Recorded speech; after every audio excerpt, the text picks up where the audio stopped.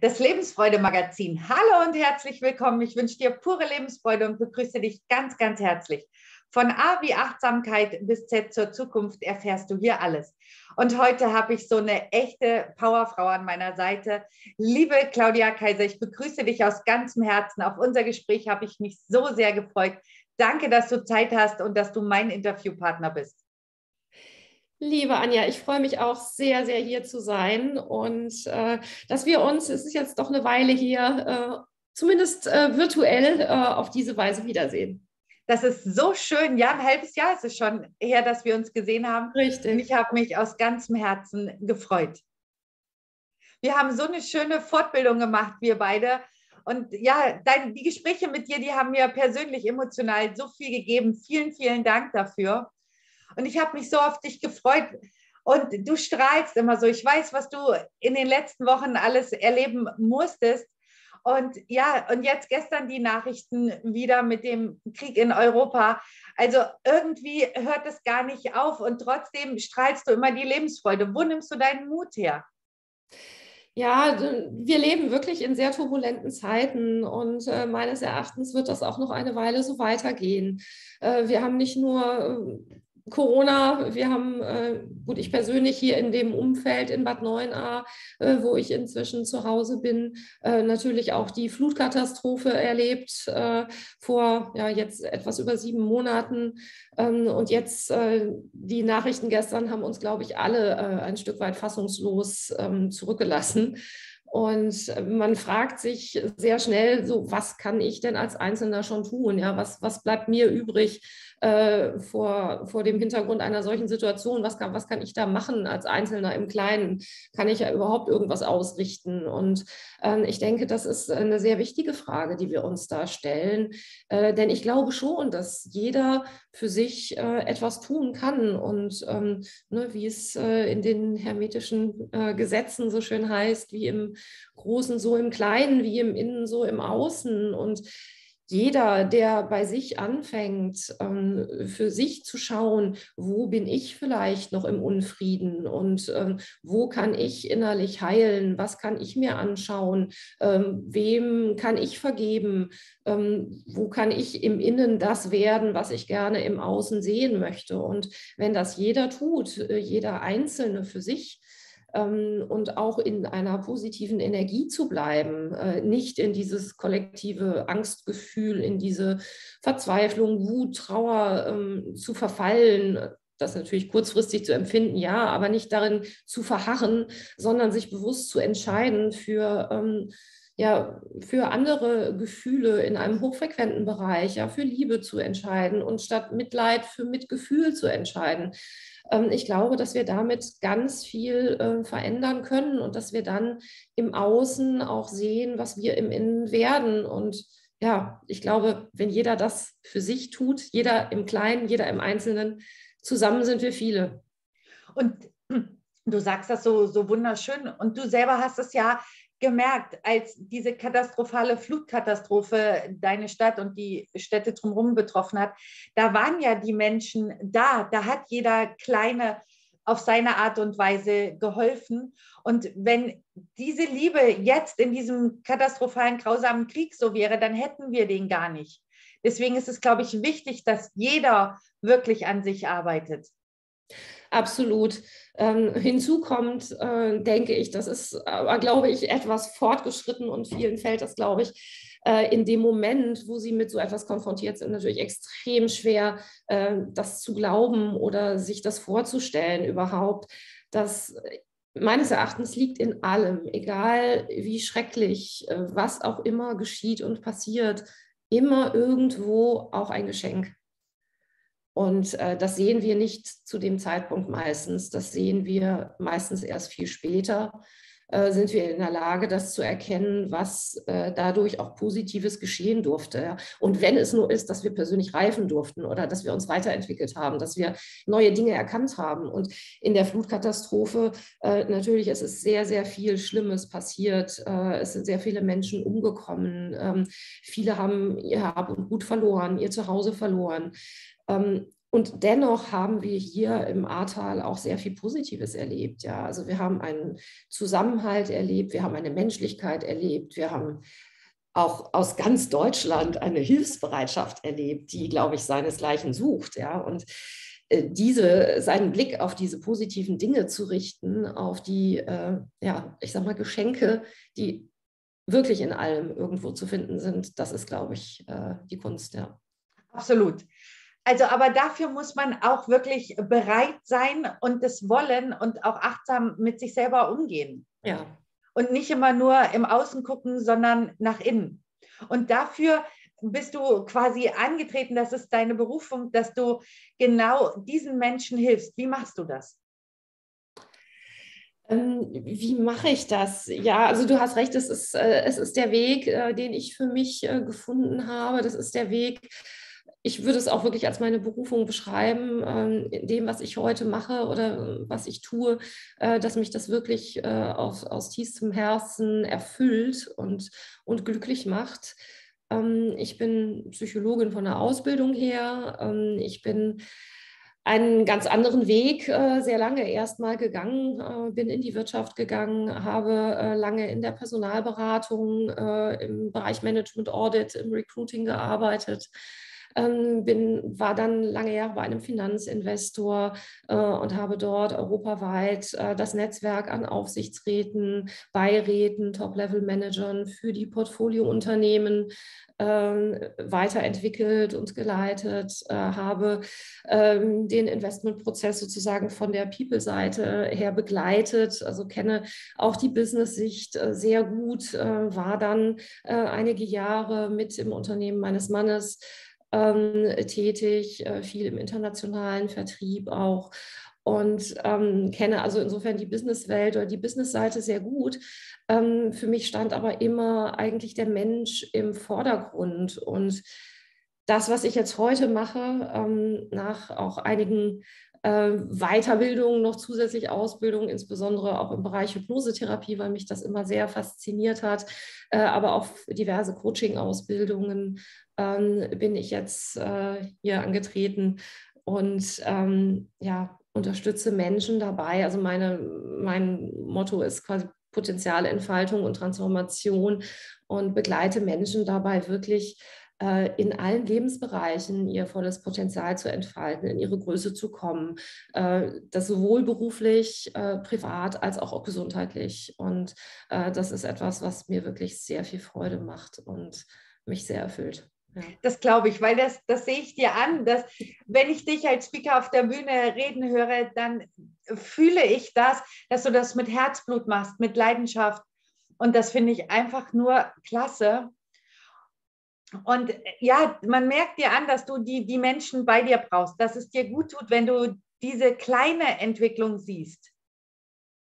Oder ich, wie, wie, ich eben sagte, ne, ich glaube, Entwicklung fängt immer nur bei uns selber an. Und ähm, was wir im Außen geändert sehen wollen, das müssen wir in uns ändern. Und es ist die erste Verantwortung, die jeder Mensch hat, ist die Verantwortung für sich selber. Und diese Verantwortung völlig zu übernehmen. Also den meisten fällt es wahrscheinlich relativ leicht zu sagen, ich, ich, ich bin verantwortlich für, für meine Entscheidungen, ich bin vielleicht auch noch verantwortlich, ich bin verantwortlich für meine Handlungen, ähm, aber auch die Entscheidung, ähm, die Verantwortung wirklich für seine Gefühle äh, und für seine Gedanken zu übernehmen, das fällt vielen sehr schwer. Und es ist äh, faszinierend, es ist toll, wir können entscheiden, wir haben die Wahl, wer wir sein wollen. Und wir haben auch die Wahl, in welcher emotionalen Frequenz wir uns bewegen wollen, ja, und die wir sind wie große Sendestationen, wie Sendemasten. Ja? Die Frequenz, auf der wir senden,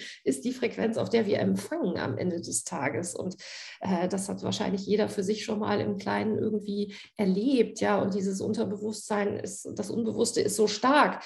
Wenn, wenn wir Menschen erleben und, und, und sehen, äh, dann denken wir erstmal oder unser Verstand glaubt, das, was wir wahrnehmen und das, was wir empfinden, wenn wir Menschen erleben, ist vor allen Dingen das, was sie sagen. Ne? Also vielleicht das gesprochene Wort ist unglaublich wichtig.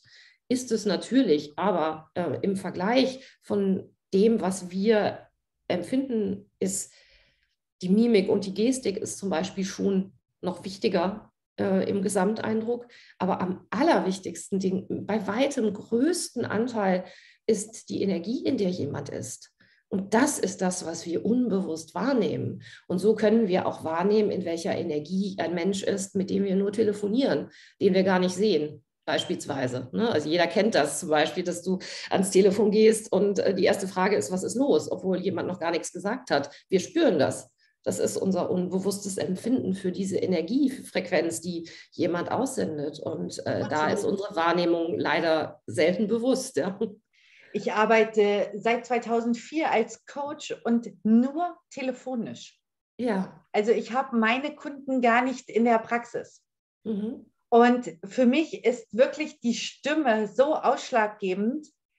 Und ich habe immer das Gefühl, ich hatte am Anfang eine Praxis, aber ich habe so für mich diese Erfahrung gemacht, dass die Kunden, die Ratsuchenden, ja versucht haben, sich zu benehmen, ordentlich zu sitzen, nicht zu weinen. Ja. Und am Telefon, ich sage immer, wenn die im Schlafanzug auf ihrem Sofa sitzen, ja. dann sind die viel ehrlicher, viel offener. Und ich habe für mich die Erfahrung gemacht, dass ich viel besser arbeiten kann, wenn ich nur die Stimme habe. Ja, also du arbeitest auch nicht über Zoom, äh, auch nicht mit Bild, sondern nur wirklich telefonisch. Genau. Ja. Also wenn es gewünscht ist, natürlich, dann, dann mache ich das. Aber ich sage mal 99 Prozent wirklich telefonisch. Mhm. Und es ist äh, spannend. Also ich, ich glaube auch, das funktioniert wunderbar. Ja, ähm, jeder hat natürlich äh, so ein bisschen seine Präferenzen. Äh, ich bin auch äh, nicht zuletzt Corona geschuldet äh, dazu übergegangen, äh, deutlich mehr online zu arbeiten, wobei ich meistens nicht telefonisch, sondern wirklich den Zoom-Weg wähle einfach weil ich auch äh, einiges visualisieren muss, ja, oder visualisiere, wenn ich systemisch unter, arbeite, unterwegs bin, äh, wofür man einfach einen Bildschirm braucht, dann oder den Bildschirm teilen zu können. Ähm, aber das geht telefonisch auch wunderbar, ja. Obgleich meine Präferenz wahrscheinlich immer äh, das Offline bleiben wird, weil ich einfach die Energie, jemanden äh, wirklich in Persona vor mir zu haben. Äh, ganz klar, gerade wenn du mit Hypnose arbeitest, das geht natürlich äh, auch nicht telefonisch oder per Zoom. Doch, das geht teilweise auch. Oh, ja, okay. Ja. Aber es ist schöner, wenn derjenige bei dir ist, oder? Natürlich. Und manche Dinge, also äh, große Hypnosen, äh, ganzheitliche in, in, in, tieferer Trance, äh, die ähm, würde ich wirklich letztendlich nur offline machen und nicht online. Ja. Aber äh, man kann auch online sehr viel machen. Wie, wie läuft so eine Sitzung bei dir ab? Kommen die Leute zum Coaching und du gehst mit ihnen dann in die Hypnose oder sind die erst neugierig für die Hypnose und öffnen sich dann fürs Coaching? Das ist in der Tat ganz unterschiedlich, Anja. Äh, es gibt, äh, es gibt Personen, die ganz konkret nach Hypnosetherapie suchen und mich darüber finden ähm, und zu mir kommen die äh, entweder immer schon neugierig waren, äh, die so etwas immer gereizt hat, äh, das einmal zu machen oder die sich viel damit auseinandergesetzt und beschäftigt haben und denen mein Ansatz einfach sehr gut gefällt ähm, und äh, dann mit einem ganz konkreten Thema kommen. Äh, häufig sind das auch gesundheitliche Themen äh, sogar. Und ähm, dann gibt es mein klassisches oder mein Coaching-Programm, das letztendlich äh, ich jetzt nicht unter Hypnosetherapie zusammenfassen würde, sondern ich würde sagen, ich arbeite mit verschiedenen Tools. Ja. Hypnose ist eins davon, genauso wie ich äh, immer systemisch arbeite. Und ähm, in der Regel ähm, Hypnose für mich auch in größeren Coaching-Programmen immer zum Einsatz kommt, aber einfach als Tool weil ich es so effektiv finde, weil ich es so toll finde, weil äh, man damit so schnell äh, Dinge erreichen kann, zu Ergebnissen kommt, äh, die auf anderem Wege einfach viel, viel schwieriger sind, ja, zu erreichen. Absolut. So, so habe ich Hypnose äh, kennengelernt. Und ich, ich finde auch, dass manchen Menschen Ängste und Verletzungen gar nicht bewusst sind, wo der Ursprung herkommt. Richtig. Und da ist das natürlich mit Hypnose dann einzusteigen und zu gucken, wo ist denn der Ursprung, ein ganz tolles Werkzeug.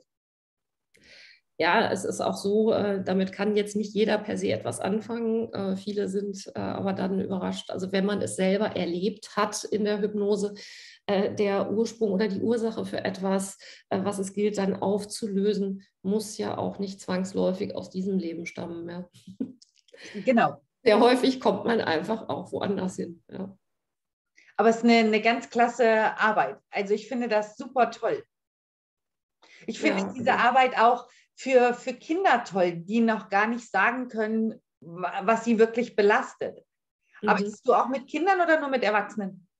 Ah, das ist eine schöne Frage, weil ich habe in der Vergangenheit eigentlich nie äh, mit Kindern gearbeitet und habe jetzt im Rahmen, äh, also ich habe nach der Flugkatastrophe angefangen, sofort ähm, ehrenamtlich äh, sozusagen ähm, Traumatisierte der Flut äh, hier kostenlos zu, zu behandeln und äh, sie zu begleiten und mich um sie zu kümmern und habe das dann auch eine ganze Weile mit einer internationalen Hilfsorganisation gemeinsam machen dürfen. Ähm, und in dem Zusammenhang äh, der Flut gab es natürlich auch oder gibt es nach wie vor äh, viele Kinder, die auch traumatisiert sind. Ja, die, das äußert sich auf unterschiedlichste Art und Weise. Also es gibt Kinder, die äh, nach der Flut nicht mehr in der Schule in die Pause gehen wollten, ähm, weil ähm, es in der Pause zu laut war und sie durch die Geräuschkulisse einfach an die Flutnacht erinnert wurden.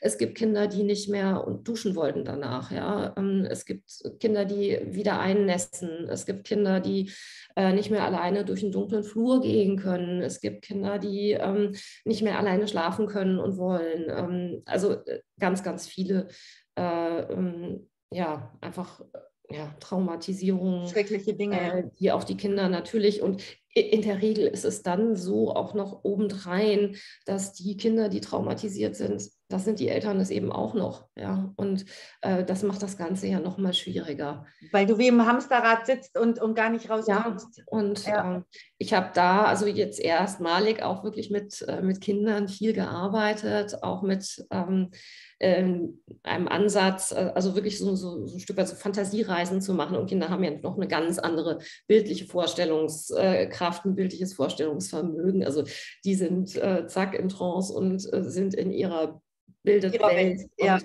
äh, können das also unheimlich toll, äh, dem unheimlich toll folgen und das, das umsetzen. Und das ist unglaublich schön zu sehen, ja, und äh, dann auch das Feedback zu bekommen äh, von den Eltern, äh, wie sehr auch so eine Sitzung schon etwas verändern kann. Ja, oder ich habe viele Kinder ähm, mit ihnen in dieser, in dieser Fantasiereise eine Lichtkugel bauen lassen, äh, die ihnen immer zur Verfügung steht, in der sie beschützt sind, in der sie, sie entscheiden, wer da rein darf, wer nicht. Sie können sie in der Farbe verändern, in der Größe, sodass sie sich darin wohlfühlen. Ähm, und äh, habe dann also auch Feedback bekommen, unter anderem eine Mutter, die mich äh, zwei Tage nachdem äh, der, äh, der kleine Sohn bei mir war, ähm, mir erzählte, äh, der wollte nie mehr alleine durch den Hausflur gehen, da war auch noch kein Strom, das war dunkel und äh, sie sagte mir, ähm, sie, sie, hätte zu seinem, ihrem Sohn gesagt, ja, willst du nicht die Taschenlampe mitnehmen? Und er hätte dann gesagt, nee Mama, die, die brauche ich nicht, ich habe doch jetzt meine Lichtkugel. Oh, das sind natürlich dann so Momente, da geht da einem das Herz auf, auf ja, oder? Sagt, ja. ja, ach wie schön. Auch voll ja. schön. Ja. Nee, das ist ein Traum. Also deswegen, ich finde deine Arbeit so wertschätzend, so klasse, wenn man damit so wahnsinnig viel bewegen kann. Ja, das ist, das ist so. Ja. Liebe Claudia, sag, wie wir dich erreichen können. Wo bist du verfügbar, dass die Menschen deine Arbeit in Anspruch nehmen können? Also ich bin erreichbar, äh, natürlich telefonisch, ganz klar. Ähm, ich habe zwei Webseiten. Ähm, ich habe einmal die ähm, www coaching-kaiser.com und die www.claudiakaiser.com.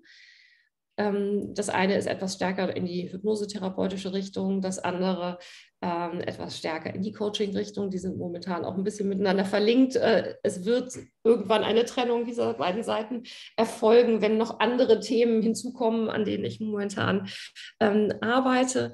Ähm, ich äh, bin, äh, ja, also darüber bin ich erreichbar, über das Kontaktformular, aber auch telefonisch. Da ist meine äh, Rufnummer und zu finden bin ich auch ähm, auf äh, Social Media. Ich bin auf LinkedIn, äh, ich bin auf Instagram und auf Facebook zu finden. Immer unter deinem Namen, Claudia Kaiser? Äh, ja, wir können, kannst das ja vielleicht verlinken hier unter den. Sehr gerne. Das dann haben wir die Informationen für alle hier drunter, genau. Ja. Liebe Claudia, tausend Dank für das schöne Interview. Ich habe mich so gefreut und das war so, so wertschätzend, was du gesagt hast. Ich wünsche dir weiterhin alles, alles Gute, viel Glück und von Herzen pure Lebensfreude. Ich danke dir, liebe Anja, hat mich auch sehr gefreut. Dankeschön. Tschüss. Tschüss.